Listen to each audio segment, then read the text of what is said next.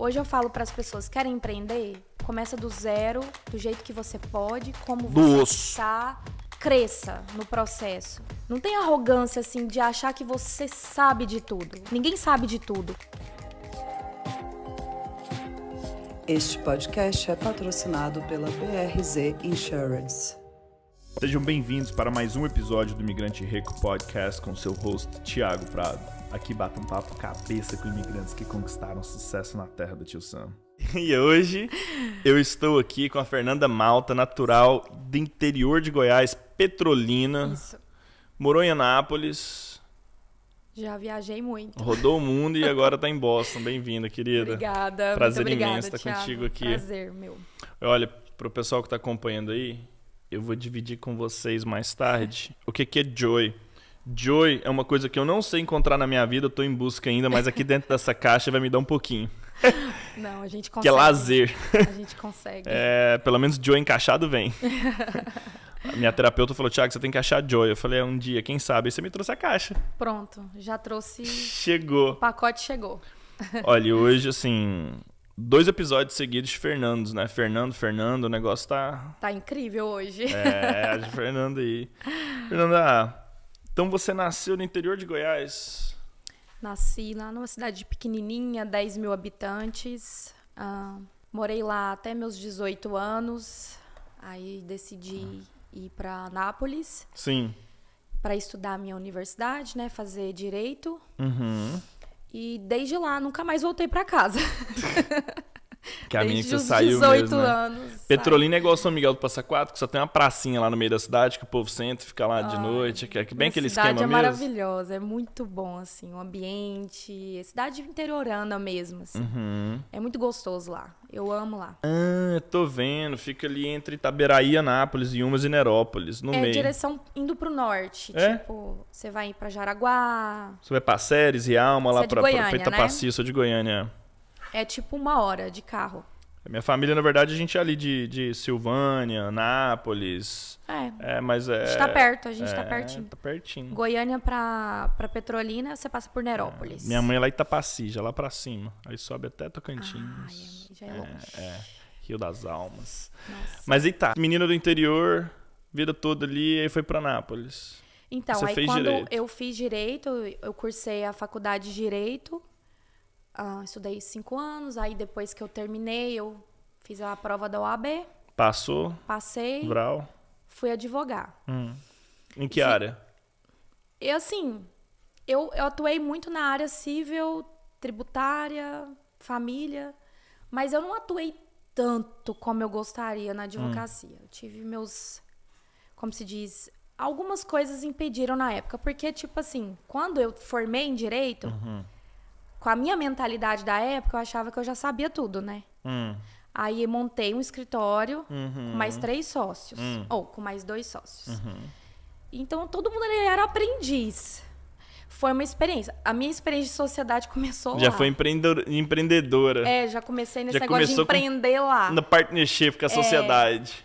Então quando eu passei na OAB, eu falei, tô pronta. Não, não estava pronta. Mas decidi abrir o escritório junto com mais dois amigos, pessoas inteligentíssimas, pessoas Uhum. que eu amo de paixão.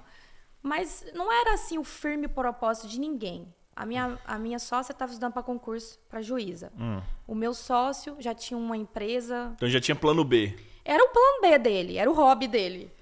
Então, tipo assim, não foi pra frente. A gente decidiu fechar, Isso aí é um separar. dos fatores que leva o empreendedor a ter sucesso, sabia? Uhum. Cara, se você tiver plano B em cima do seu plano A, vai dar ruim.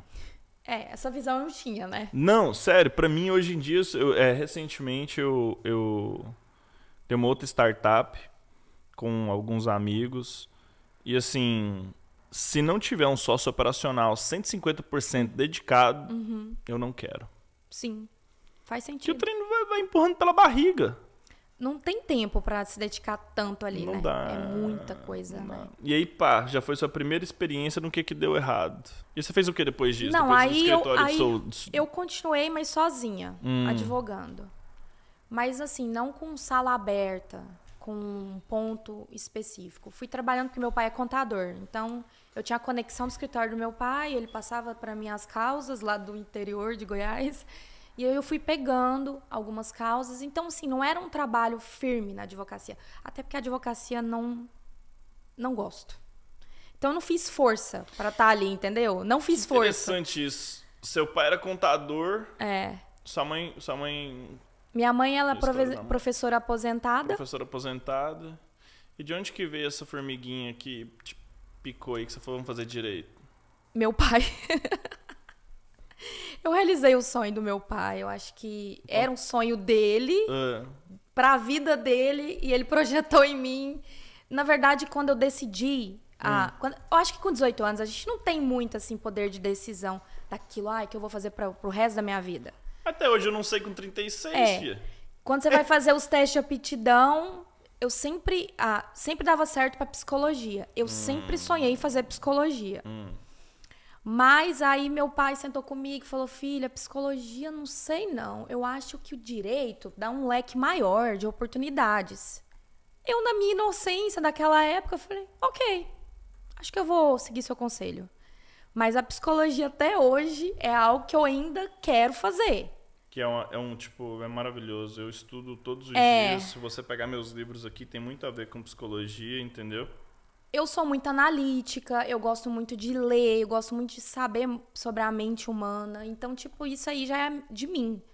Eu sempre busco conhecimento nessa área. Eu saí da advocacia para ir pro concurso, que eu falei, eu não tô feliz nisso aqui. E aí eu comecei a estudar. Fui para Goiânia, mudei para Goiânia. Aí tava eu e minha irmã, a gente morava juntas, a gente morava em Anápolis juntas. Aí ela conseguiu uma oportunidade de Goiânia, eu fui junto com ela. Estudar em concurso, eu estudava tanto em Goiânia quanto em Anápolis. Então, era independente do lugar, eu podia estudar. Aí eu fui pra lá ficar com ela. E aí estudei, passe- quase passei em alguns concursos. Sabe quando você tava batendo na trave, aí você vai e desiste? Uhum. fui eu.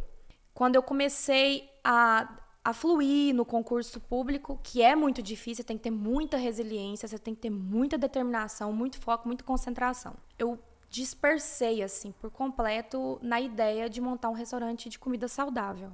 Mudou, assim, da água pro vinho Da água pro vinho. de tudo que eu tinha de bagagem, né? Mas eu idealizei isso, foi um sonho. Veio de uma decisão com a razão, veio do sonho mesmo, de mudar vidas. Porque eu tava já vivendo um estilo de vida saudável, Certo. eu era apaixonada nisso.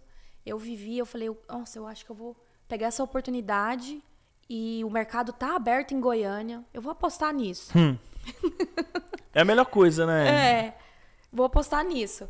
Só que, assim, eu não tinha noções de administração, eu só tinha um sonho. Mas você já tinha, você já tinha esse fogo de empreender É, mesmo, né? sim. Primeiro com Eu tava na- partnership. Eu tava na busca. Eu tava na busca.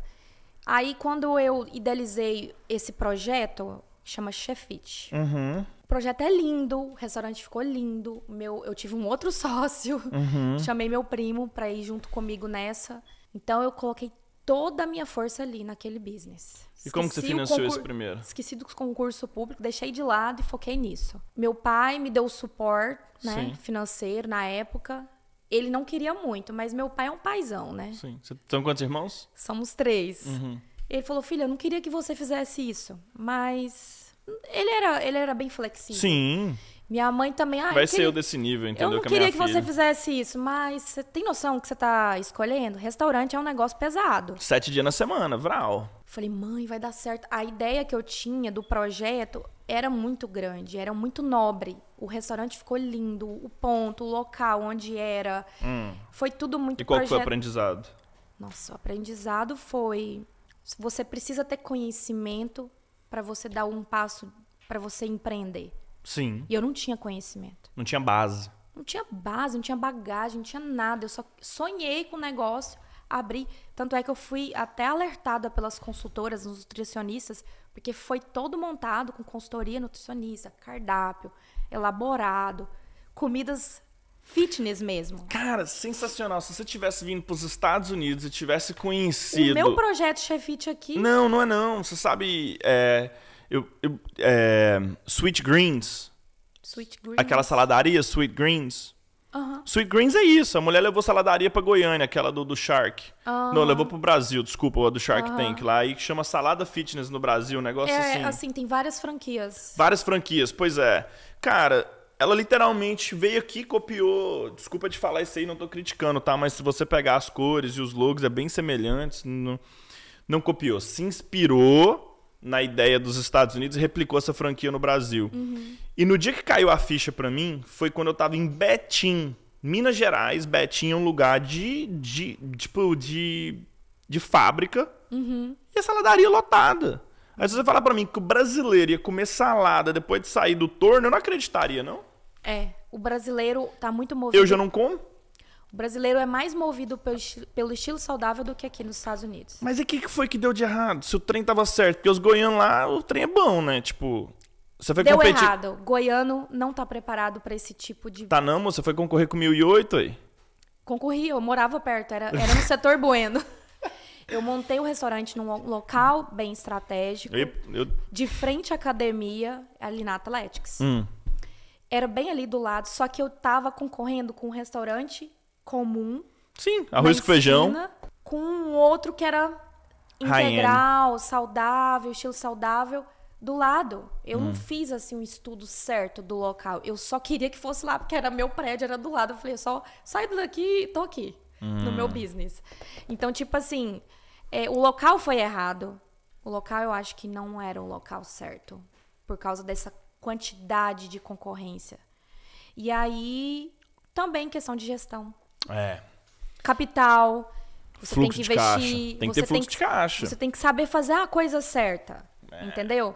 E a gente, a gente pagava as contas, porém, pra chegar assim, pra gente crescer, pra gente. A gente, Pra sobrar dinheiro pra você reinvestir no trem. a gente foi se desgastando. É. Você foi se desgastando porque o restaurante suga a energia. A gente começou com uma equipe muito boa, tinha atendente, tinha cozinheiro, a equipe da cozinha, de repente fechou o ciclo. Eu fui afunilando, eu fui descontratando um monte de gente porque a nossa conta não estava batendo. Não batia. E a frustração minha, assim, maior foi porque eu agi com muita emoção. Quando a gente estava com um mês de chefite, a gente foi convidado para uma academia de crossfit para abrir uma unidade, uma filial da, Não, o negócio não tava nem rodando direito, já tava metendo Aí filhão. eu com a emoção, aham, ok. Fui para outra unidade que era produção tão parecida, tanto quanto do restaurante matriz. Foi pesado. Foi uma carga assim que eu peguei que eu não tinha Você não tava preparada. Eu não tava preparada. É, porque, tipo, você, a cultura diferente, equipe diferente, manter supply, qualidade, consistência. É, é, Eu é- cresci dentro de restaurante, tá? Igual você falou, a questão é o estoque. É, aquilo ali, você administrar. É, administrar tudo, ali. supply, é, o- é, a É. compra. E tudo natural, fresh. Tem que correr lá no Ceasa e ter distribuidor, você não tinha distribuidor alinhado ainda, tava naquele processo. É muito difícil. E o meu sócio batalhou muito comigo. Mas a gente, assim, se frustrou mesmo, de verdade, quando a gente viu que não tava dando certo. A gente recebeu uma multa da vigilância sanitária de 12 mil reais. Brau. Aí quebrou as pernas. Eles abriu a multa por causa de um- umas coisinhas bobas que a gente não alinhou Uhum. na porta do banheiro, que tinha que colocar alguma coisa que, que ela voltava devagarzinho. Sim, Nem sei falar o nome. sim, sim. E aí a gente foi, nós fomos notificados, porém, com a correria, com o batidão, a minha irmã recebeu a notificação, esqueceu de nos mostrar, porque ela também estava ali junto com a gente trabalhando. A gente esqueceu e aí a gente recebeu a multa. Aí foi um momento que eu olhei pra ele e falei: "Fecha aquela porta". Já deu pra mim. Fecha. Vamos fechar isso aqui. A gente tentou vender antes de fechar, a gente já estava no processo de fech... de vender aquela, aquela, aquele ponto, mas Uau. não vingou, não teve tempo também das pessoas acreditarem no business. Sim, sim. Você não tinha fluxo de caixa, não tinha ideia, É, conceito e tal. Aí você teve que como. vender a liquidação mesmo. Eu tive que vender só o mobiliário. Uau, que preju. Foi prejuízo mesmo. Aí depois disso aí, Mas um mega aprendizado. total. É, Mega ir, é ir lá pro, pro vale. Vem cá que agora eu vou te ensinar. É. Deus me levou pra lá pra me ensinar. É. E aí foi o motivo pelo qual eu me mudei para os Estados Unidos, porque quando eu fechei o Chefit, Certo. eu não tinha força para voltar para advocacia. Não queria voltar pra aquele jeito Meu nenhum. emocional estava abaladíssimo, porque eu também pensava nas vidas que estavam lá trabalhando Sim. comigo. As pessoas faziam planos de férias e elas mal sabiam como estava a gestão. Ai, quando eu, ficar de férias eu vou viajar. Elas mal sabiam que Tava pauleira. A gente, elas faziam planos, eram pessoas super humildes, pessoas assim, colaboradores que a gente tem muita gratidão. Porém, a gente tava no fundo do poço. Aí quando a gente desgastou emocionalmente demais no final, assim, é pancada, não tem como falar. Restaurante é um negócio pesado. Eu fui pra cozinha, Não, eu não é. cozinhei. Chegou o ponto de eu cozinhar. Então, realmente, eu fechei. Eu falei, não dou conta. Não tenho força pra estar aqui no Brasil. Eu preciso mudar. Eu preciso ir pra outro país. A minha profissão, é, não consigo voltar pra ela. Se eu voltasse hoje pra ser uma funcionária de um escritório, eu não ia conseguir pagar meus, minhas dívidas que eu fiquei. Não tinha como, tava todo enrolado. Aí foi o motivo pelo qual eu e meu marido a gente decidiu casar. Uhum. Vamos casar? Vamos receber a bênção de Deus e vamos mudar. Aí ele concordou, depois de muita resistência, mas depois ele concordou. Em três meses, eu fechei a porta do Chefite, tirei o visto, vim para os Estados Unidos. Uau. Três meses. Casei. E depois casei e vim. E veio. Sim. Mas foi, foi inspirada por, por, por esse aprendizado caro Foi, a você começar de novo. foi uma direção mesmo Sim, também, que a sim, gente sim. recebeu em oração. Direção, direcionamento. Para recomeçar mesmo e fazer a nossa história. Porque até ali não foi feita nada. Não, não. Só aprendizado. E, e como é que você decidiu vir pra, pra, pra Boston? De onde que veio essa ideia? Na verdade, a gente estava indo para Nova Zelândia, Ca- Canadá, a gente estava olhando a Austrália. A Queria ir tava pra olhando... algum lugar. A gente estava olhando. Hum. A gente ia nas agências, olhava como que funcionava, a aplicação e tudo mais. Mas aí, numa conversa de academia, minha amiga falou assim: por que, que você não vai para os Estados Unidos? Nova Zelândia é do outro lado do mundo. É. Pensa o quanto difícil vai ser para sua mãe ir lá te visitar. Eu pensei, eu parei pra pensar, meu Deus, é mesmo, eu tô viajando. Eu comecei a olhar, conversei com o Bruno e falei, Bruno, tem alguém lá que pode nos receber? Alguém que pode nos dar informação mais Mais sólida? concreto. Aham. Aí ele, eu tenho um amigo de infância que estudou comigo no colégio auxílio, eu acho que a gente pode tirar as informações com ele. Aí a gente entrou em contato com ele e ele passou todas as informações que a gente precisava para saber quanto a gente conseguia fazer, pra gente se reerguer. Trabalho mesmo, mão de obra. A gente veio disposta a vir do- começar do zero. Aí ele falou assim: não, aqui vocês vão trabalhar muito, né? Pra conseguir bater as metas. Mas é possível. A gente falou: a gente precisa disso, disso, disso. Aí ele falou: não, é possível. Aí ele nos recebeu. E ele te deu a ideia, plantou sementinha. Era o único lugar que tinha. Não tinha, tipo, como escolher Flórida. Não tinha como É escolher. você tinha um relacionamento, você tinha que vir pra cá. Eu tinha a pessoa. E você chegou. aqui. E pra qual cidade você mudou quando você veio? Framingham. É, aí a gente ficou um mês. Capital dos brasileiros É. fora do Brasil. Sim. E desde então Qual a foi gente. seu primeiro trabalho quando você chegou aqui? Seu primeiro- seus primeiros dólares que você ganhou? Limpeza. Limpeza. Porque era o que era rápido, Sim. fácil de resolver. Bom. E dentro da meta que eu precisava bater. E resolve o problema, né? É. E aqui o mercado de limpeza funciona muito bem, é rápido, você tem muita opção de trabalho, oferta de trabalho. Pelo menos na minha época tinha muita opção. Uhum. E aí eu fui, eu passei por essa experiência de começar do zero mesmo, não sabia fazer nada. Pedi pra pessoa que tava me ajudando, me ensina a li- a limpar. Fui de graça pra E aprender. a pessoa foi te ensinando. Ó, não precisa me pagar não, me ensina aí. Eu quero aprender. E depois que eu aprendi, fiquei, eu acho que até antes de ter a Belinha, sim, uns dois anos e meio, três anos na limpeza. Belinha, seu primeiro filho. Pagando conta, Mas resolveu. pagando bill, Pagando bill do. Pagando os- o é, equipamento. os os- do- do- problemas, né, que ficaram pra trás. E aí, você trabalhando, você chegou a montar uma empresa de limpeza? Como que foi? De onde que, que- Porque você tem essa veia empreendedora. Eu tava projetando isso. Na verdade, a gente tem um business, ele é designado para cleaning também. Mas quando eu estava decidindo engravidar, eu parei a minha vida. Falei, eu quero viver a minha maternidade. Não faz sentido para mim eu ter filho para os outros criarem. Tipo assim, eu vou parar. Glória a Deus que eu consegui, que o Bruno podia trabalhar e eu ficar em casa, né? Que bom. Eu sei que pra, não é a realidade pra todo mundo. Mas aí a gente decidiu, ó, a renda vai diminuir, mas eu vou ficar em casa Uhum. com a Belinha. Então eu engravidei, trabalhei até os oitavo mês de gestação na limpeza. Sim. Não pode Trabalhei parar, juntou a grana. pesada ali, meu Deus. Honrei. Belinha nasceu, eu fiquei com ela, cuidando dela até uns sete meses. Eu comecei a pensar na minha vida pós-maternidade. Hum, O que, que eu poderia fazer em casa com ela? hum. Porque eu também não queria largar o pintinho, né? Veio do nada, pipoca. Pipocou pipoca. O Espírito Santo cabeça. falou que na minha cabeça. E se você me perguntasse, tipo, sete anos atrás, você vai trabalhar com pipoca? Eu ia rir na sua cara. A ideia minha era vender saúde, né? Vender um produto para estilo de vida saudável. Uhum. Mas eu mudei toda a minha visão sobre empreender quando eu vim pra cá. Eu comecei a ver que existe um universo de oportunidades. Então eu quis assumir uma ideia que não fosse no ramo saudável. Isso aqui é pipoca, né? Então, assim, só pra gente mostrar pra vocês, olha só que caixa mais linda que ela trouxe pra gente aqui. E olha só aqui, ó. Olha o que, que tem aqui. E aí você teve essa ideia de fazer. Sim, aí pipoca. quando, quando eu brotou na minha mente, pipoca, Hum. mas não qualquer pipoca. Uhum. Vou estudar. Aí comecei a estudar. Comecei a estudar. Porque eu queria um produto que pudesse chegar em qualquer lugar dos Estados Unidos. Galera, e aqui, ó. Isso aqui é o fator que leva o imigrante a Pode ter puxar. sucesso na terra do tio Sam. Me ajuda a abrir aí que eu tô apanhando, tá? Aqui eu sou Agora daqui desorganizado. Ah, Rasga. Puxa aí. É, o fator que leva o imigrante a ter sucesso na terra do tio Sam é o quê? Conhecimento, educação.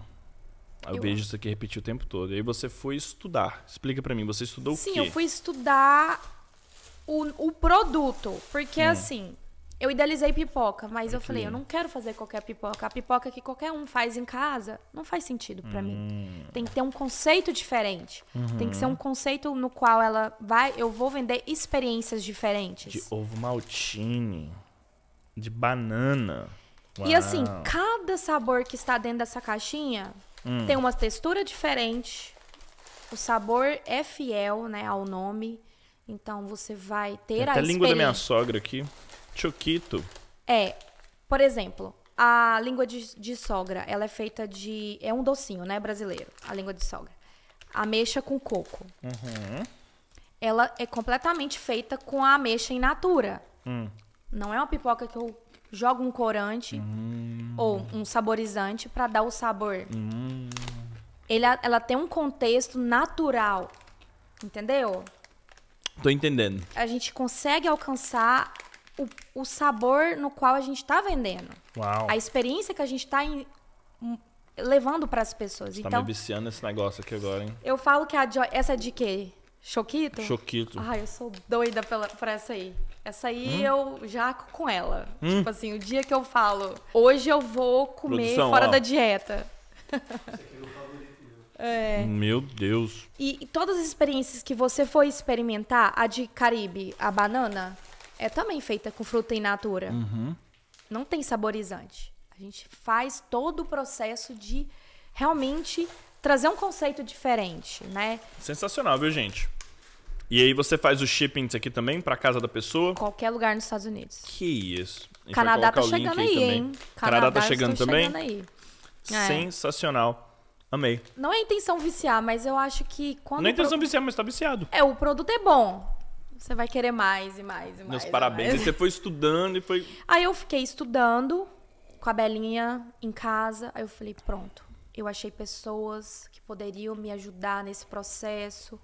Uma pessoa super especial no Brasil que foi me dando orientação, curso, me ensinando como conduzir tudo isso. Olha a atenção pro detalhe, gente. Coisa mais linda. E quando a gente começou, Hum. era esse nome. Por que esse nome? Joy. Pra mim era uma alegria poder começar dentro de casa com a Bela. Era tipo assim, era uma satisfação pra mim poder ganhar dinheiro com ela dentro de casa. Funcionou, foi uma loucura grande. Criança crescendo e a produção chegando, na medida que a gente, as pessoas foram conhecendo o produto, a produção foi A aumentando. demanda foi crescendo. E a gente ter que lidar com a maternidade, aí foi o ponto que eu cheguei, eu coloquei ela no daycare, né? Pra Uhum. ela ficar, já podia, né, pagar o daycare pra ela.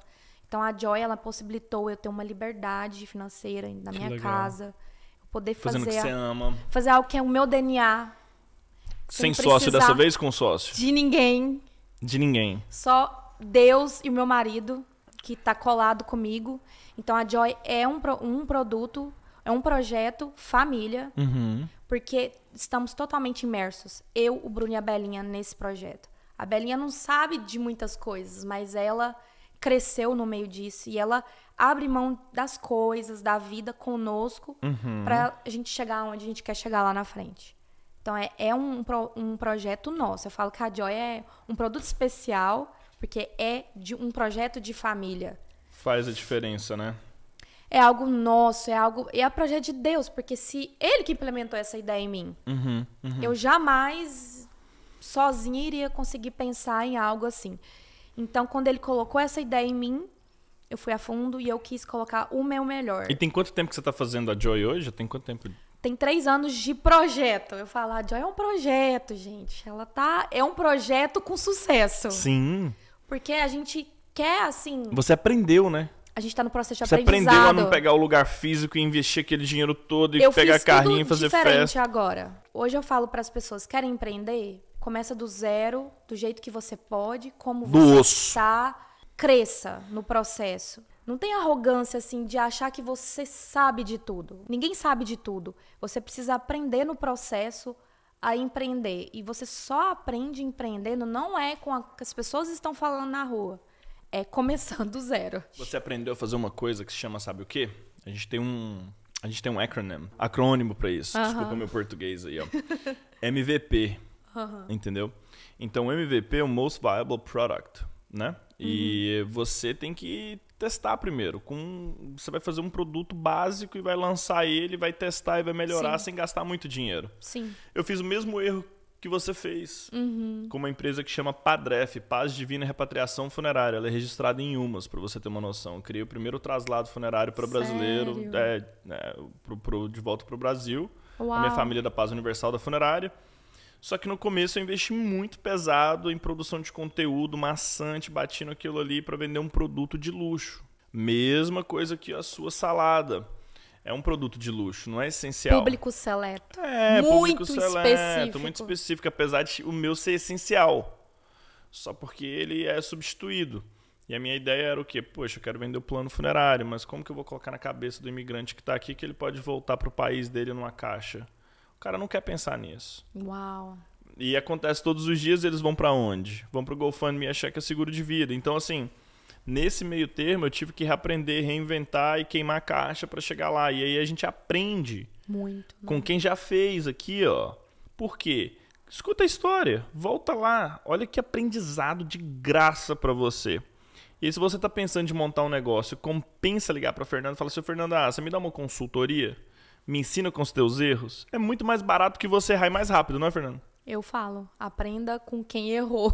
Nossa, vale muito a pena. Você vai, tipo, abreviar, vai atalhar bastante coisa. E eu acho que empreender é difícil.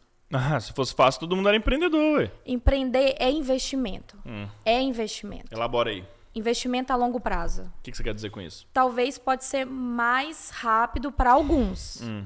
que já tem gordura, né, como se Sim. Que tem assim um aporte bom para começar. Tem time. Você sabe É. qual que é o segredo de, de, É. de empreender? Eu falo que é três coisas muito simples. Pra você empreender, você só precisa de três coisas simples, não é nada grande. Número um, de uma boa ideia.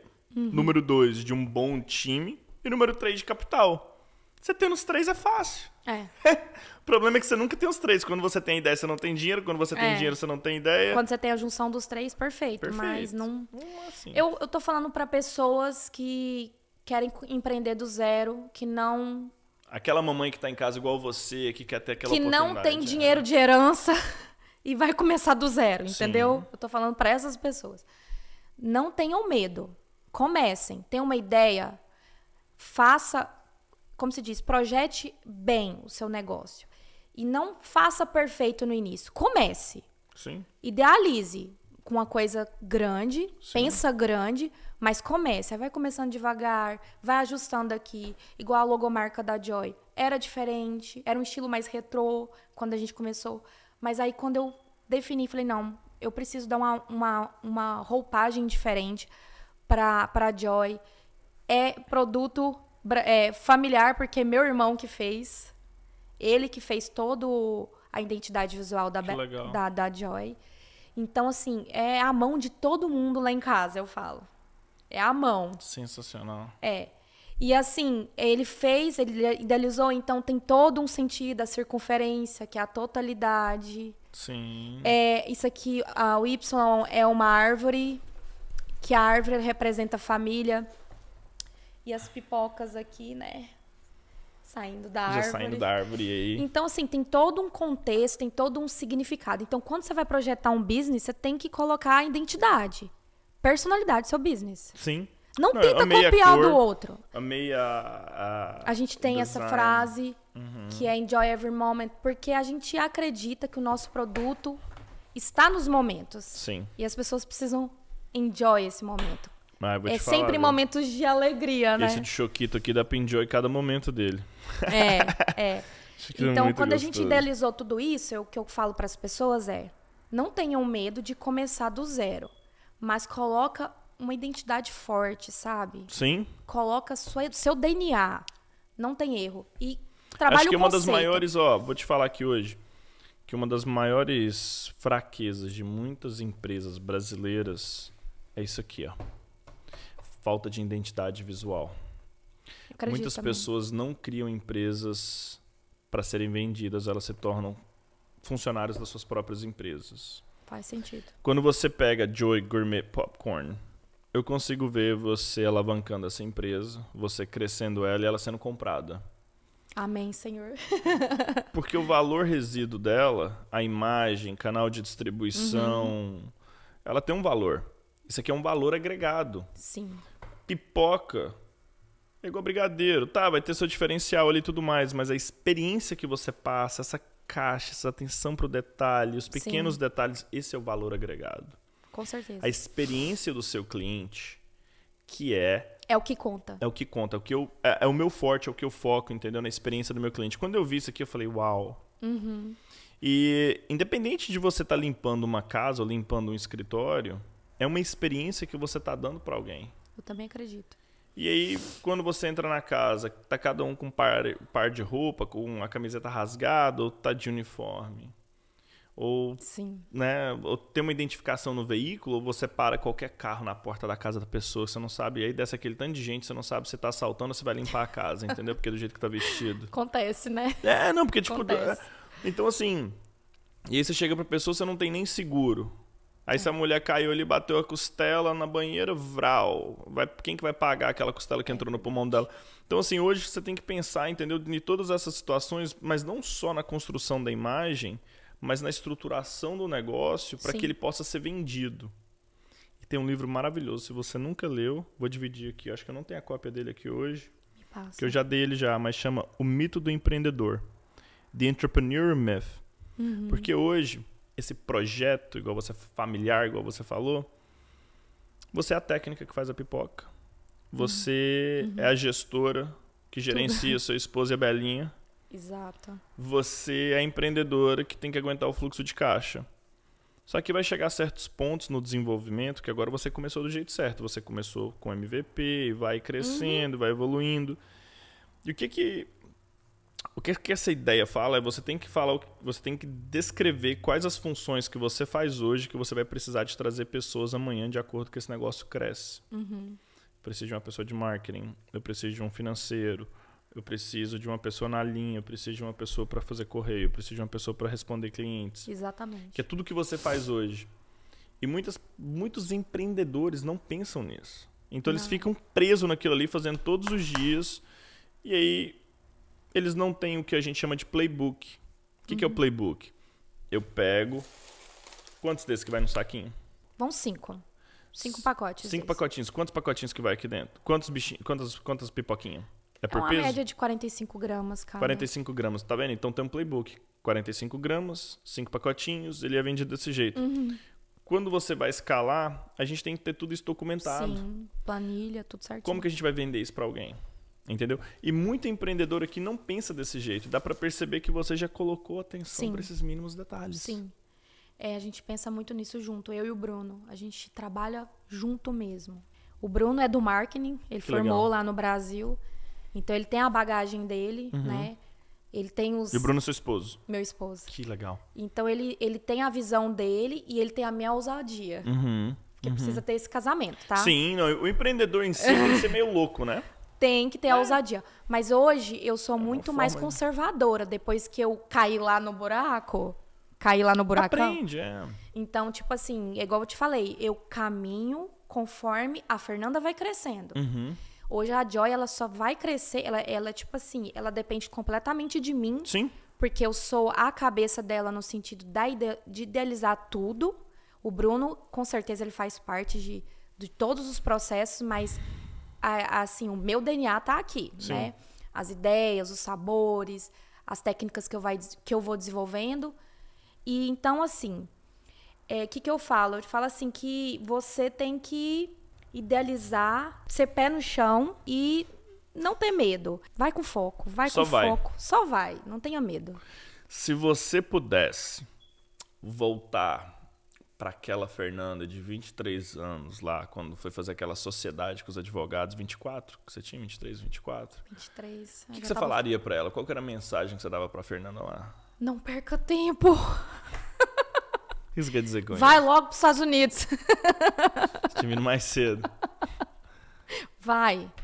A gente viajou para Europa quando a gente estava lá no Brasil. Hum. O meu marido já ficou doido com a vida fora do Brasil. Hum.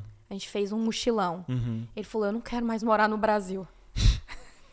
Não quero voltar lá pra, pra Nápoles, não. Tipo assim, quando a gente voltou, a gente já voltou mexido. É. A gente já voltou balançado.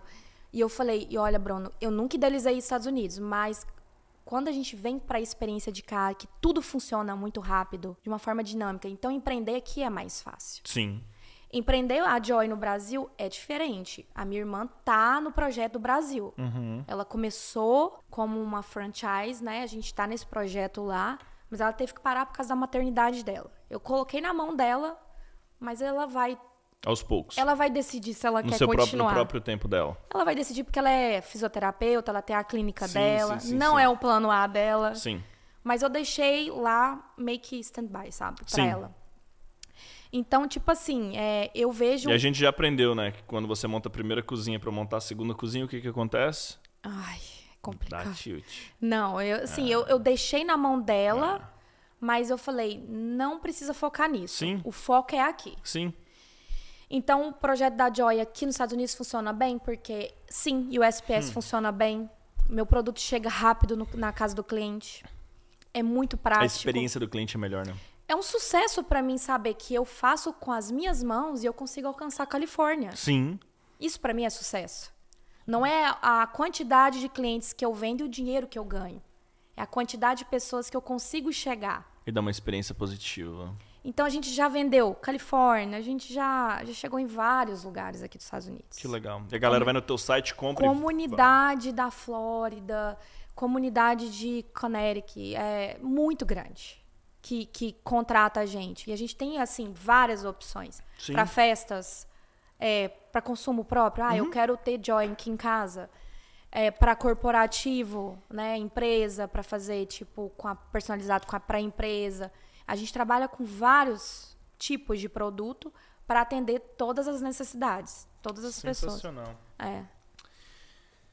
Você que já chegou nesse, nesse nível de desenvolvimento pessoal, e é muito legal escutar isso da tua parte. É uma maturidade muito grande na, na, na vida de empreendedor, porque você já passou pelas, Pelas dores do parto. pelas fases, É. é, pelo, pelo, pela sociedade jurídica ali, pelo restaurante, aquela outra. Essa bagagem toda que eu tive, Thiago, ela não vai. É um, é um, é um MBA. O que tá aqui. É um MBA que eu vou falar pra você. É, que, tipo, cara, MBA sensacional esse aí de gestão. é. tem um valor muito grande. Vocês andaram pela Europa, viajaram o mundo, voltaram pra Goiás. E a ideia do podcast, de acordo com que a gente vai chegando aqui no final, é refletir muito nessa, nessa percepção de riqueza. Uhum. Que quando um dia eu tive esse insight, falei, cara, vamos traduzir wealth de inglês para português. e aí eu peguei riqueza. E eu traduzi para outras línguas, vietnamita, traduzi para Creole, French, Creole Uau. de Developed Cada Nations. cultura. E o que, que eu descobri? Que todo país em desenvolvimento, se você colocar wealth, traduz para riqueza e tem a ver com dinheiro. Uhum. E todo país desenvolvido que você já traduz para a língua atual tem a ver com abundância. É bem diferente a percepção de wealth para um país A desenvolvido visão, e um né? país não desenvolvido. Então, quando você pensa em riqueza lá no Goiás, você pensa em boi. né? Terra. Depende do mindset que você vai falar soja, de riqueza. Né? É. Né? Lá na Araguaia, lá a riqueza é, É. E rico é os coach que tá lá no Alphaville lá, ou então o Marquinho da Audio Mix lá que tá, né, que tá fazendo Vila Mix ali. É. Mas pra você que tá aqui em Massachusetts, mora numa cidade maravilhosa que é Hopkton. Adoro. É tipo, é, eu moro em Lexington, que pra mim eu sou Aham. fã de Hopkton over Lexington all day por causa. Eu acho que deve ser da mesma vibe, né? Hum, Hopkton é mais mato. É, mais É, rocinha. eu gosto. É, me lembra mais Goiás. Me lembra muito Petrolina, Não, é. a É. cidade ali. Pra você que já tá nesse nível, qual que é a definição de riqueza pra Fernanda? Eu tive que aprender muito no processo da vida sobre riqueza. Hum. Tipo assim, hoje ah, as pessoas falam, assim- elas olham pra Joy e devem imaginar assim, nossa, ela deve estar rica. No conceito de riqueza. Hum. Mas pra mim, riqueza tá, tá muito mais ligado à família, Uhum. ao ministério, Hum. à fundação. Porque quando você tá sob o projeto de Deus, naquilo que ele quer fazer através de você, o que vem na- através disso, assim, você não tem que se preocupar com o amanhã, com o que vai ah, produzir através disso. Deus vai fazendo, ele vai mandando provisão e ele vai te dando na medida certa, conforme você vai conseguindo alcançar. Então fala assim, a Fernanda tá caminhando, Uhum. conforme a Fernanda cresce, a Joy cresce. Hum. Conforme a Fernanda vai crescendo na alma, porque eu acho que as emoções precisam ser muito bem trabalhadas para quem é empreendedor. Ah, fato. Eu não tinha emoção trabalhada quando eu abri o Chefit. Sim. Eu fui muito emocionada. Eu fui muito com sonhos. Então você tem que ser sim, trabalhar muito a sua emoção, a sua inteligência emocional para você lidar com pessoas com não. Eu lido com não. Quem disse que a Joy é aceita em todo lugar? Não é. E eu entendi que a Joy não é para estar em qualquer lugar. E não é para estar em todos os lugares. Não tem como. Você tem que ter maturidade para entender seu produto e não achar que seu produto tem que estar com todo mundo. Ah, mas é a mesma coisa, né? Você vai numa loja daqui e de uma BMW, tem consumidor pros dois. Você já viajou de, de, é, de Spirit Airlines? Spirit. E eu gostei. É, então, Spirit tá sempre lotado e tem gente que não vai. A gente já, a gente conseguiu comparar a Spirit com um- uma companhia da Europa que é muito menor. Eu falei, Ryanair, gente, aham, É. Spirit é muito melhor melhor. que Ryanair. Ah, não, Ryanair você vai em pé, né? Então é assim. Ryanair você é igual um ônibus, você pega E lá o em cima que e vai eles na... E o tanto que eles vendem lá dentro. É. O tempo inteiro vendendo. É, no Ryanair já É. tem a galera vendendo balinha lá dentro. Então, assim. Mas é, a margem de lucro da Ryanair é maior do que a da Nossa. Spirit e maior do que a da JetBlue. Com certeza, porque a minha viagem toda da Europa foi com a Ryanair. É. E eu acho assim, é, trabalha o seu crescimento mental, inteligência emocional, sua bagagem que você precisa ter para você liderar, lidar com os nãos. Uhum.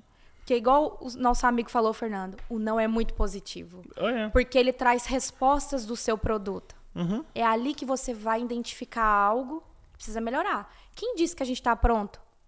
Quem disse que a gente sabe de tudo? Ah, esquece. Então, assim, eu tô aprendendo, eu tô numa escolinha. Joy, é- ela é uma escola pra mim, pra chegar onde eu quero chegar. Então, os nãos que eu tenho recebido no mercado, a gente tá começando agora devagarzinho nos mercados brasileiros, com a experiência de ter o nosso produto nos mercados. Certo. Tá sendo muito rico pra mim essa experiência de entender o que o consumidor final quer no mercado. Sim, através de um canal de distribuição. Isso está fazendo toda a diferença lá dentro da produção, da nossa ótica sobre a Joy, do que a gente quer prospectar para o futuro, como a gente vai fazer a Joy crescer. Sim. É tudo aprendizado. Então, tipo assim, eu agradeço demais meus parceiros que acreditam na Joy. Porque não são todos que acreditam, né? Sim. Nas pessoas que a gente vai, que nós vamos ali atrás para E conversar. é assim, nem A gente leva não. E é normal levar não. É igual eu falei, o nosso produto não é para estar em todo lugar. sim.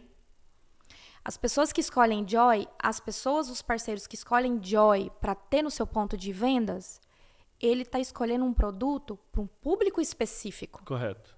Não é para todo mundo que entra ali. Uhum.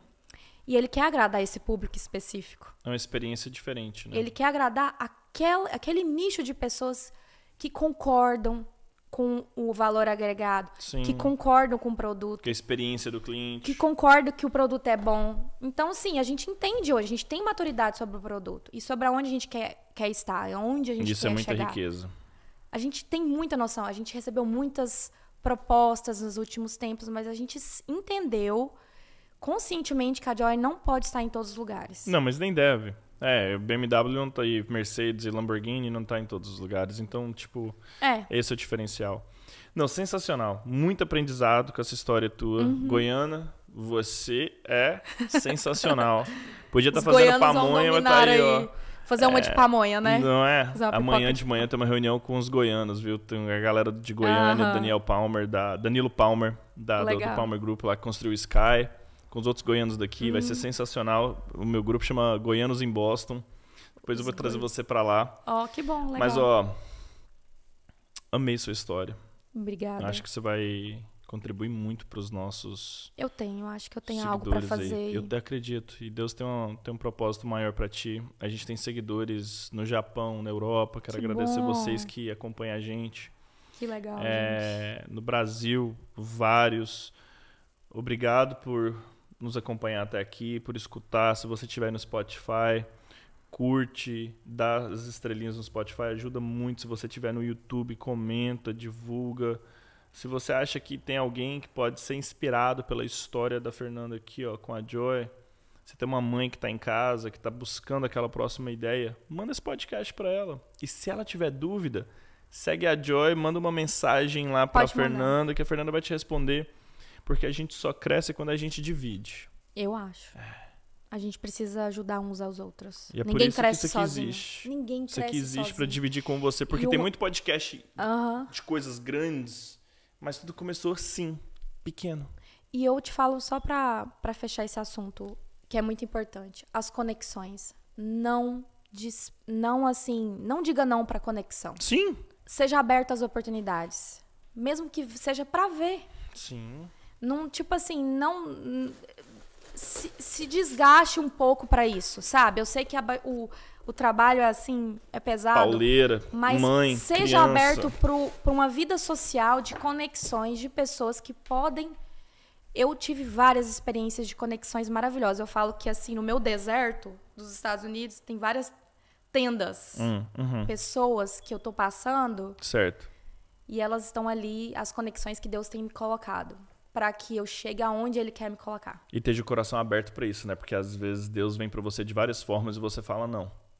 É, a gente tem que estar muito alinhado. Eu falo que o Sim. espiritual tem que estar Tem que alinhado. estar alinhado, Se sim, você não com tiver. o físico e o seu emocional. E cuida do corpo, gente, porque pra aguentar o batidão, É, né? Tem que, cor- tem que cuidar também. Nossa, ó, eu vou fazer vontade aqui em vocês mais um pouquinho, gente, porque sem... Não, sério. Vou trazer aqui, ó. Eu viciei, tá? Como é de banana? Essa de choquito aqui, ó. Eu vou, vou encerrar com essa aqui de banana. Vamos lá, então. É. Não, maravilhoso. É, Ela- e aqui, gente, olha só a embalagem. Isso aqui, ó, a experiência do cliente, cara. Olha só isso aqui. Olha só aí, ó. Uhum. Delícia. Mas choquito ainda é minha favorita. Não, choquito. Hum. Sensacional, né? Segue, comenta, vai lá e compra, porque, ó, se fosse ruim eu falava, hein? É maravilhoso. Adorei. Fê, Obrigada, Prazer. Thiago. Precisando a gente tá aqui. beijo. Tchau. Segue, hein? Comenta, curte, liga o sininho, porque domingo tem mais. Do meu coração pra você. Beijo.